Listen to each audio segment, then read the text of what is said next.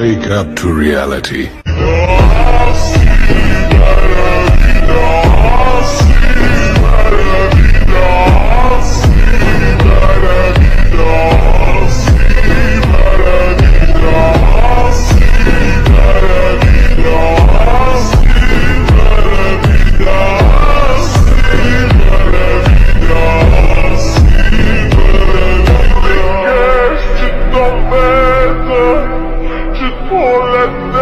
ce gars-là n'est pas net.